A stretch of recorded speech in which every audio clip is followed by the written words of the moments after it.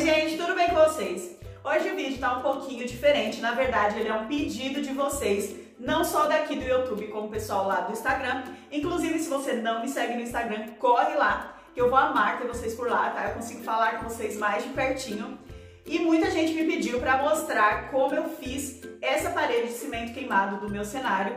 E para nós foi um desafio, porque é, eu vi vários tutoriais no YouTube, porém eu não tinha visto ainda, né? Eu não encontrei um tutorial mostrando como fazer uma parede de cimento queimado em cima do azulejo, que, no caso, que é o meu caso, né? Porque é aqui na minha cozinha.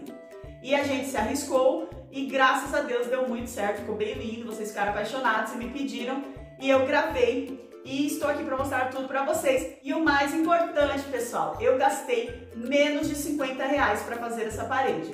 Então ficou sensacional, muito bom mesmo. E eu espero muito que vocês gostem. Então se você está curioso para saber como foi feita essa parede, continue assistindo o vídeo.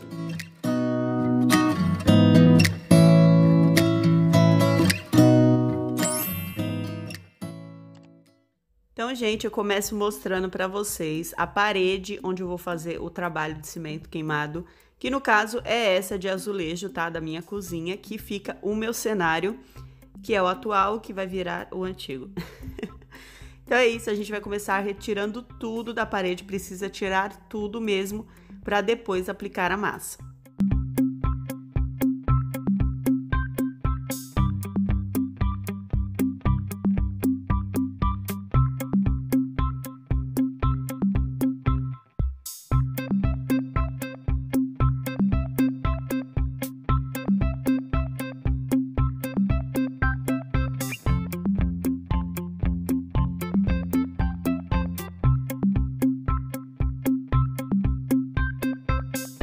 Agora eu vou mostrar para vocês como eu fiz a mistura, né, da massa com o corante.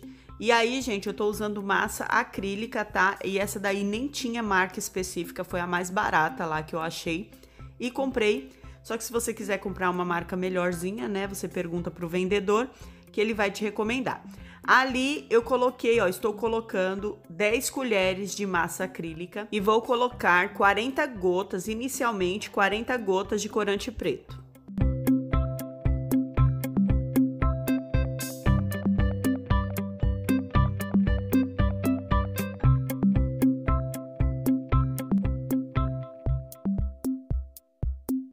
Misturei bem, ficou dessa cor, eu achei que ainda estava um pouco clarinho. E aí, como eu quero uma cor mais forte na primeira demão, eu adicionei mais 20 gotinhas de corante para ficar um pouquinho mais escuro. Então foi um total de 60 gotas para 10 colheres de massa acrílica.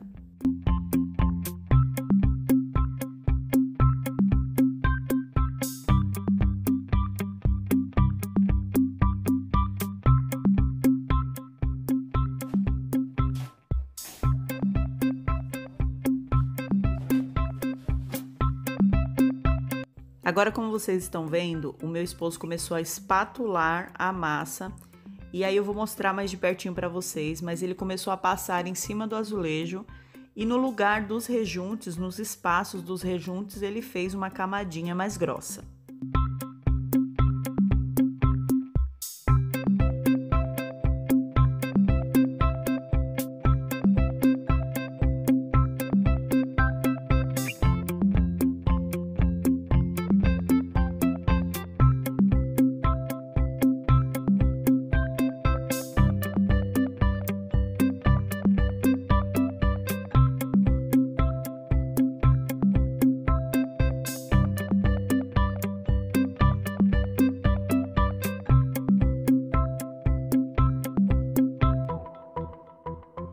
Olha, toda a parede já foi passada a primeira mão, tá?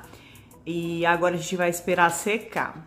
Como já tá tardezinha, assim, já anoiteceu, só amanhã a gente vai passar a segunda demão. Pode perceber que tem partes que tá meio úmido, mas aqui, ó, onde ele começou, já tá bem sequinho, tá vendo? Mas é bom deixar, principalmente porque é azulejo, né?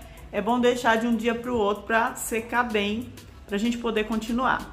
Gente, eu confesso que eu tô meio assustada, dá a impressão que não vai que não vai dar muito certo, mas meu marido tá confiante, ele falou que vai. Então, vamos confiar.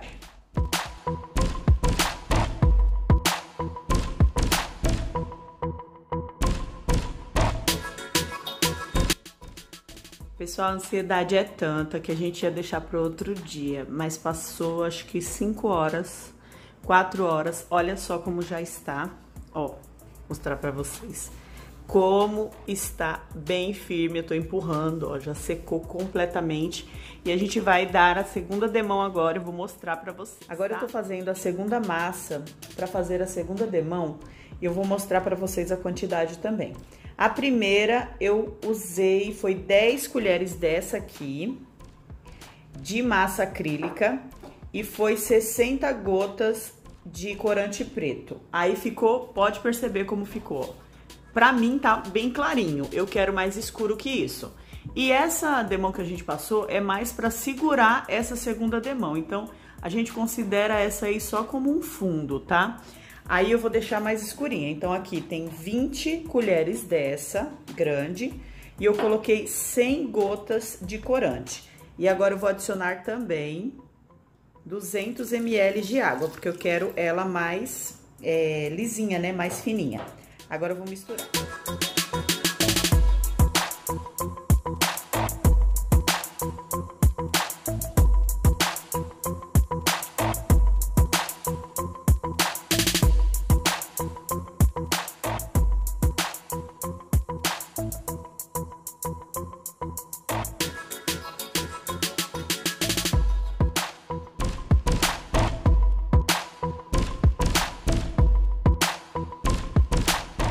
Olha, gente, como ficou o resultado final. Olha a cor que a gente chegou. Aí eu usei 160 gotas de corante para deixar bem escurinha essa primeira demão, tá? Agora a gente vai passar na parede.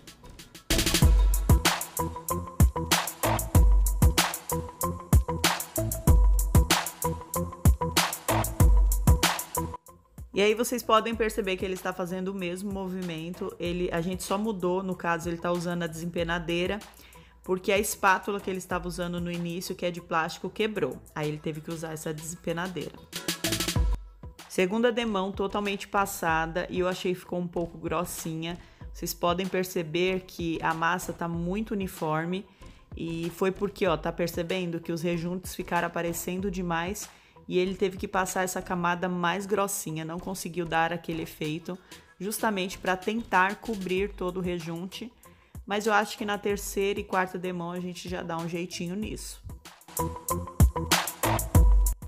E aí está o resultado da parede com a segunda demão, tá? Ela já está completamente seca. E agora a gente vai passar a terceira demão. E eu já misturei a massa e eu usei 20 colheres daquela que eu mostrei para vocês de massa acrílica e 230 gotas de corante preto. Misturei tudo muito bem, ficou bem escurinha. E agora a gente vai passar por cima dessa fazendo aqueles movimentos iniciais.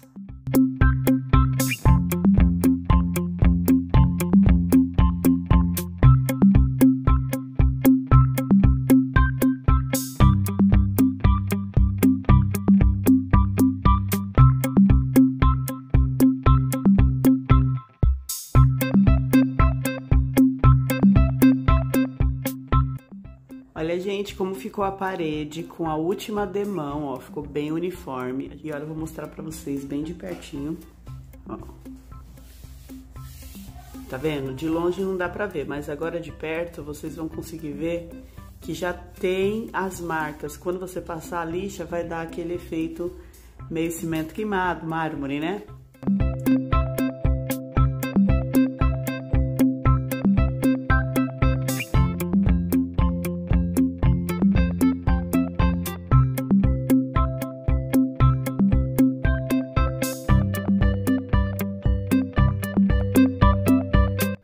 E agora que a parede está completamente seca, a gente vai lixar toda essa parede em movimentos circulares, que é isso que vai dar o efeito cimento queimado, tá?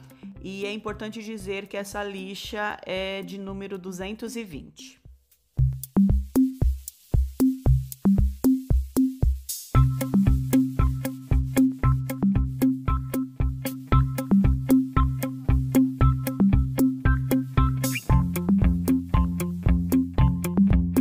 Paredinha quase pronta, percebe que ela já foi toda lixada, o efeito cimento queimado já apareceu. Só que agora a gente precisa tirar a poeirinha que fica, né? Pelo fato dela ter sido lixada, ela fica bem poeirada. E aí meu esposo está passando um pano, é um pano de chão mesmo úmido, para tirar toda a poeira, porque a gente vai finalizar com uma cera.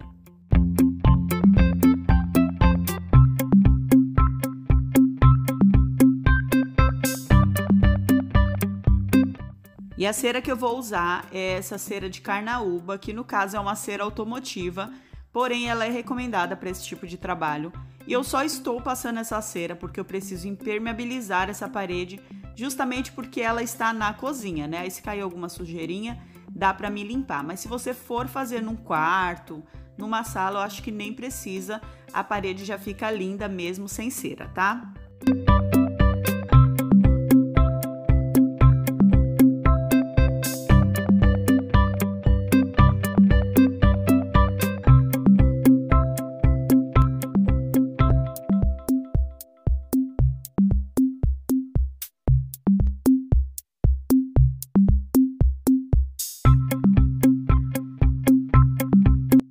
Nossa parede já ficou pronta, a cera ainda tá um pouquinho úmida, mas vai mudar pouca coisa depois que ela secar. E, gente, de verdade, eu achei que ficou muito linda, era bem o que eu queria. Ficou incrível e vocês viram aí como foi fácil de fazer.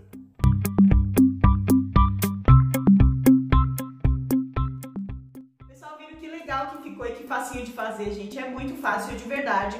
Porém, você tem que ter paciência, né, de esperar secar. A parede é mais pelas etapas, assim, que você tem que ter paciência. Mas de fazer é muito fácil mesmo. Aí tem algumas observações. Por exemplo, se você for fazer uma parede convencional, você vai fazer a mesma técnica. E eu acho que com duas demãos você já cobre a parede inteira, justamente porque não tem o azulejo, né, não tem aquela dificuldade. Porém, se você for fazer uma parede de azulejo que tiver muita desigualdade nos azulejos, tiver um rejunte muito fundo, talvez você vai precisar de quatro demão, aí eu não sei dizer, tá? Aqui três demão foi suficiente e ficou dessa forma, mas tem um detalhe também. Vou mostrar para vocês, vou colocar algumas imagens de como ficou ela completamente seca e vocês vão perceber que ainda mostra um pouquinho assim, sabe? Fica um pouquinho aparente é, as marcas do rejunte. Mas, gente, isso não me incomodou. Aliás, eu achei que ficou bem lindo, dá a impressão que foi de propósito, sabe? Eu achei que ficou bem bacana. E aí, se isso incomodar vocês, vocês podem passar mais demão, né, pra ver se cobre completamente. Aqui foi tranquilo, três demão deu certinho, ficou dessa forma e eu adorei. Espero muito que vocês tenham gostado. Se gostaram, deixa o like, se inscreve aqui no canal, ativa a notificação para não perder nadinha aí, corre lá no Instagram pra me seguir, que eu amo ter vocês todos por lá, tá? Então é isso, um beijo, tchau, até o próximo vídeo!